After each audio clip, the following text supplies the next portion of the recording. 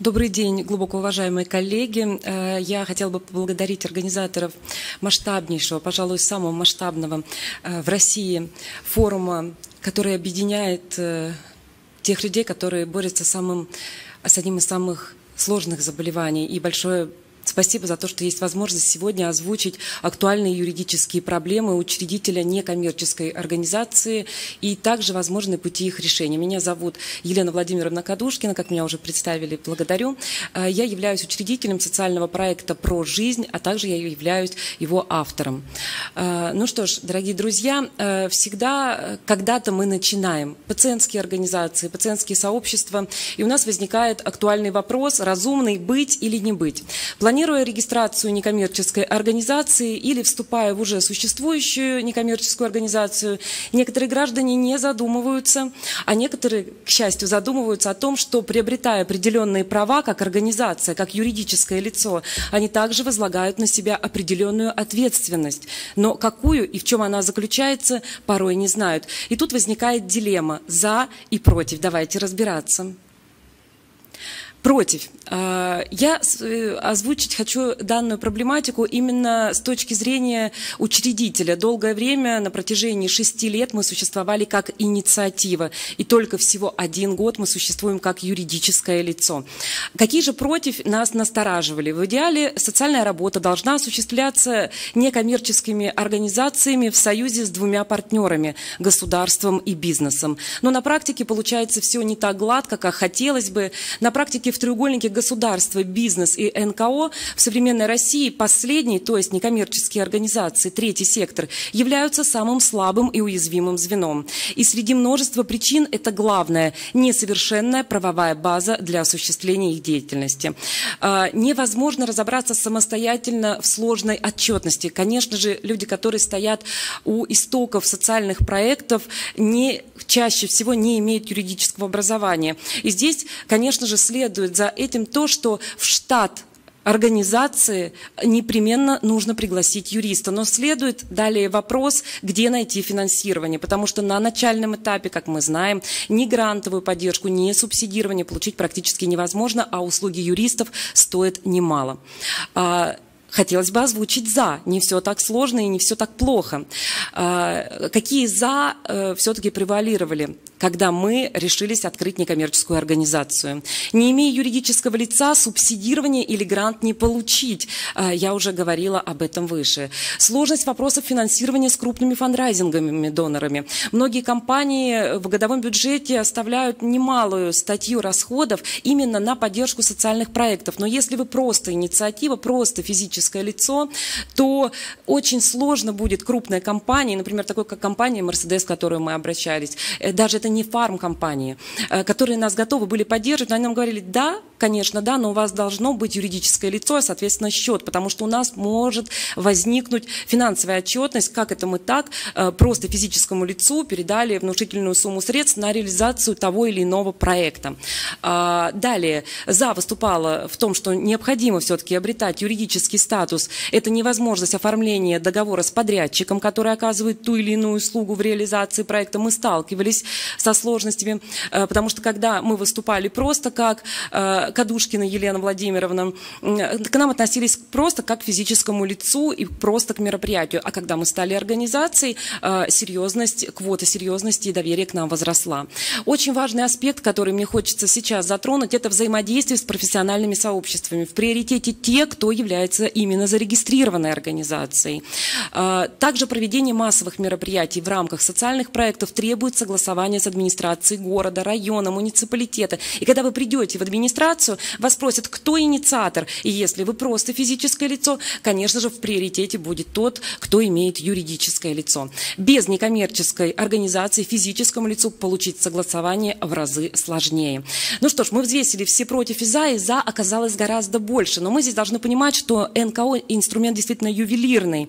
И э, мы должны понимать и четко отвечать себе на один важный вопрос. Зачем это надо и как конкретно это будет работать. Если вы просто пациентский чат, который хочет просто вести работу внутри чата, подумайте, нужно ли вам открывать некоммерческую организацию. А если же вы планируете масштабироваться, выходить на площадки не только городские, но и нашей страны, бежать марафоны, проводить различные, я говорю о медицинской даже направленности, проводить различные акции, то, конечно же, некоммерческая организация здесь имеет место быть, но опять же, вы должны понимать, что в момент открытия, с даты постановки на учет в юстиции некоммерческой организации, вы должны будете сдавать всю отчетность, даже если э, деятельность в этом году отчетном не велась. Что есть НКО, я не буду на этом заострять внимание, я думаю, что организаторы предоставят возможность, те, кто заинтересован будет в презентации, можно будет ее посмотреть на ресурсах э, форума «Белые ночи».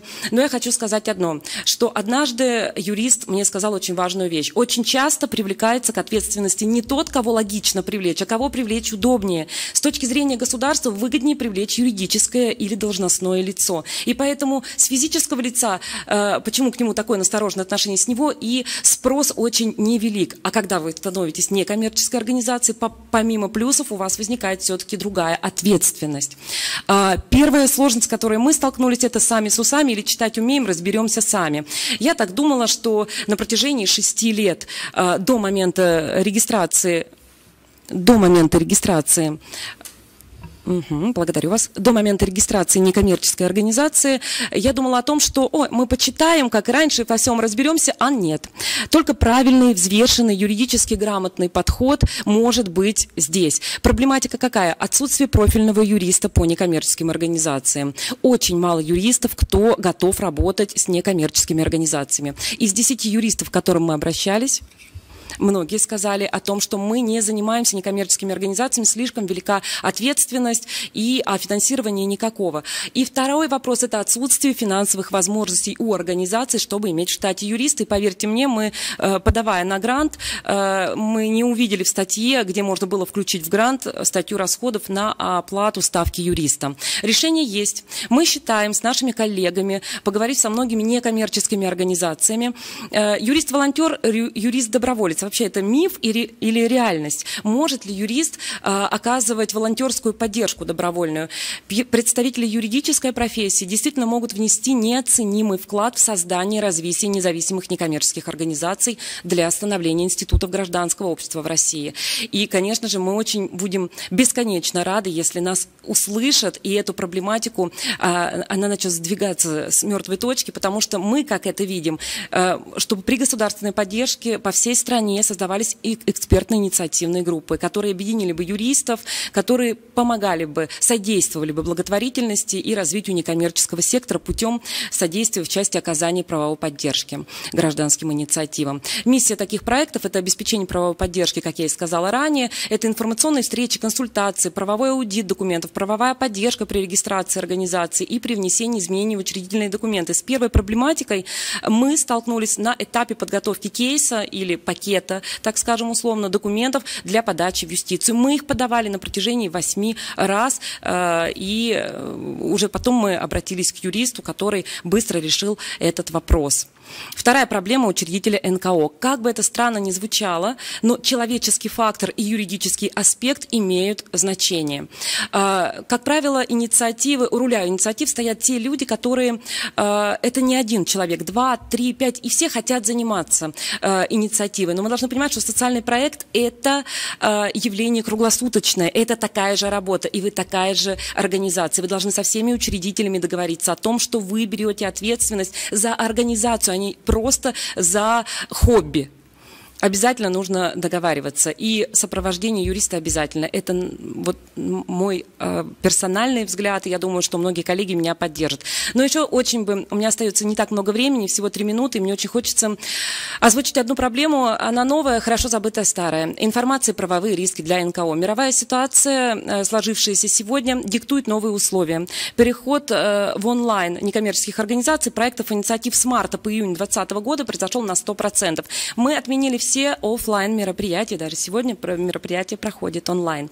И э, действительно нам нужно понимать, что мы говорим, что мы э, пишем, что мы публикуем, прежде чем публиковать информацию или фото, проверяй и снова проверяй, получай разрешение на публикацию персональных данных. Fake news, к большому сожалению и иногда удивлению, мы видели у некоторых коллег распространение недостоверной, как казалось бы, я просто сказал. Например, в период пандемии пишут э, э, некоторые коллеги о том, что сокращается объем помощи онкологическим пациентам, тем самым вызывая панику. Нет, ничего не сокращается. Наоборот, наша с вами задача сейчас э, действительно говорить в ключе положительным, а не на своих собственных выводах и эмоциях. Но очень внимательно прошу отнестись к фейк-ньюсу. Действительно, это очень серьезно, потому что за такие тексты физические лица штрафуются на 30 до 100 тысяч, а вот уже организации от 200 до 500 тысяч рублей. А, это очень-очень важно. Поправки в период пандемии, на них тоже стоит обратить внимание, а, потому что если информация касается обстоятельств, представляющих угрозу жизни и безопасности, но если на вас никто даже не заявил, то э, РКН может усмотреть в том, что вы э, все-таки публикуете fake news. Я просто сказал, так не бывает. Мы с вами несем колоссальную ответственность. Неважно, мы инициатива или мы организация. Вот просто у инициативы и организации, физического лица и у организации ответственность разная. А что можно рассказывать о человеке, тоже можно будет ознакомиться в презентации. А, нужно быть очень и очень внимательными. Право на изображение человека. Мы очень часто э, публикуем мотивирующие истории, э, рассказываем о тех пациентах, которые победили онкологическое заболевание. Мы вас просим, отнеситесь, пожалуйста, к этому внимательно. Даже если пациент до этого э, публиковал свои фотографии. Обязательно должно быть все юридически грамотно. Лучше возьмите консультацию юриста. И вывод у нас такой. Есть вопрос, не молчи. Юридическое сопровождение гораздо дешевле штрафных санкций. Самообразовательные проекты читайте, смотрите, слушайте. И коллеги, даже для тех, кто только начинает, всегда открыты для общения. А мне очень хочется поблагодарить вас за внимание, пожелать вам быть вдохновленными и, самое главное, здоровья. Большое спасибо.